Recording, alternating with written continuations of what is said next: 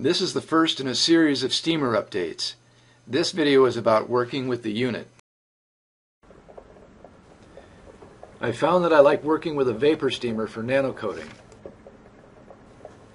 I like it because it is very convenient, but there have been some changes since my first video, so I wanted to do this update. The new units have a max fill line stamped into the metal dish.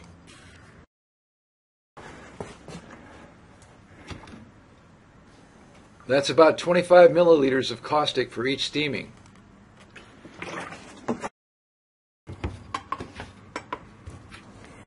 When the power button is pressed, the unit starts a three minute warm up cycle.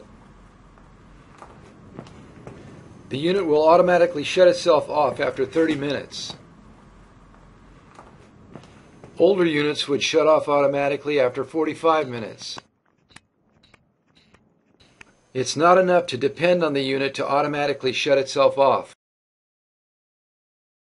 That's because the electronics that control the unit must be powered up in order for the unit to work. Heat will build up on the circuit board, so power must be cut after every steaming cycle. I found that it is convenient to use a plug-in countdown timer with the steamer. That way power will automatically be cut when the steaming cycle is complete. I've had good results with a 25 minute heating cycle from a cold start to finish.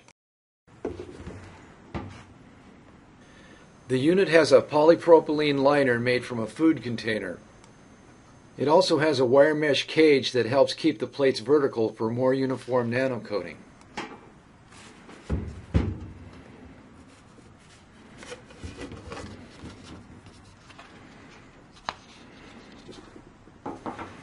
polypropylene liner was made from a food container like this one.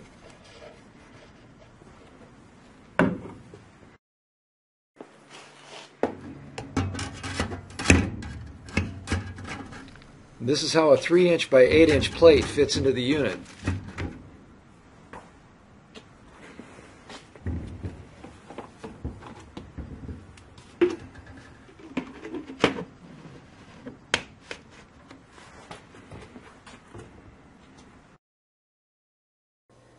It's been my experience that every unit I have worked with has leaked sooner or later.